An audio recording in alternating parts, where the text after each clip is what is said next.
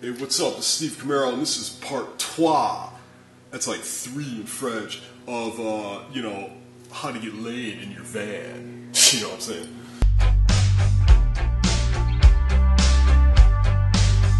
So yeah, uh, you know, in part one and then part two, uh, you know, we talked about the first, you know, bed situation, and then uh, the toilet, you know, situation.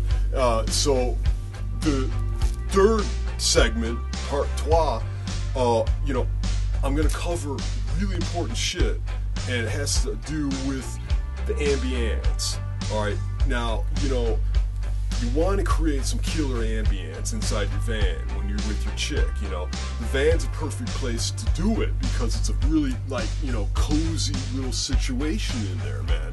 So you know, dudes with apartments and shit, you know, they got so much fucking space that you know it's hard to create the right kind of ambience. But inside a van, man, you know, it's really easy to do. How do you do that? Well, here's what you don't do, and I'm gonna refer to my buddy Tony again, man. You know, fuck, he, he uh, you know, he called me over one day, and uh, one night, and right before he was about to have his girl over, and he says, you know, Steve, man, you know, can you come on over here, and uh, you know, I want you to kind of, you know, just, you know, check out my ambience, you know, and, and, and see if I'm, I'm I'm up to par with my ambience. You know, I got my girl coming over and shit, and you know, I'm like, yeah, okay, I'll, you know, I'll give it a little review for you. You know, I'll review it, and uh, I went over there, man, and so Tony's got fucking candles lit, all right, lit candles.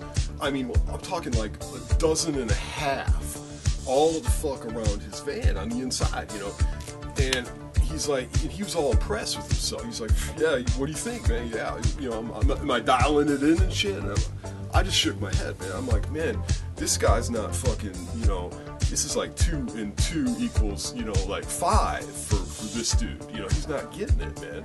So, you know, I kind of explained to Tony, I'm like, you know, the whole point of, of the ambience is definitely heating things up, you know, but you're to be heating things up in like a different kind of way, man. You're not fucking thinking this through because anyone knows, man, you know, shag and wagon, man. When you, you know, when you're rocking in the van, you know, this motherfucker moves, you know, if, if you're rocking proper, you know, if you're rocking proper, you know, this thing fucking moves, you know what I'm saying?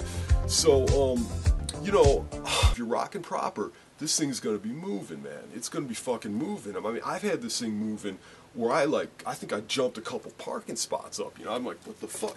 So if you're rocking proper, man, this thing's gonna be fucking moving. And what's gonna happen with all those fucking dozen and a half candles? Those things are going down, man. Your fucking shit's going up in flames. You know, come on, man. Jesus fuck.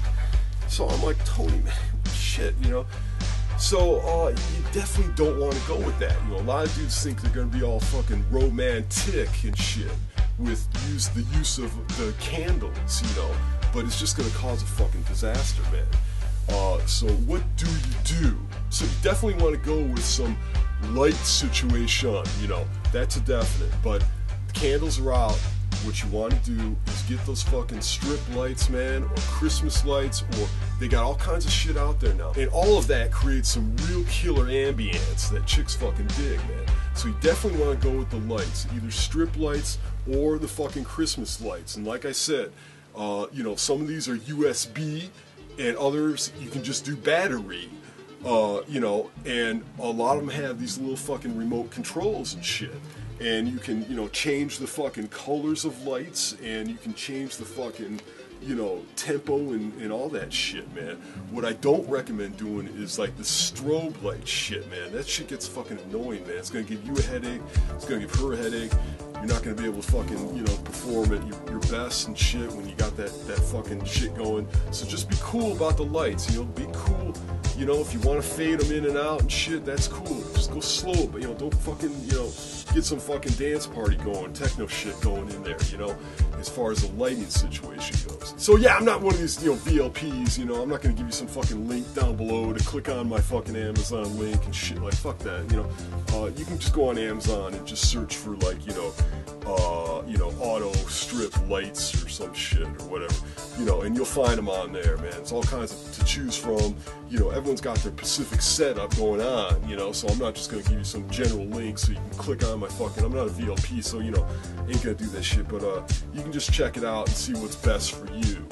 Um,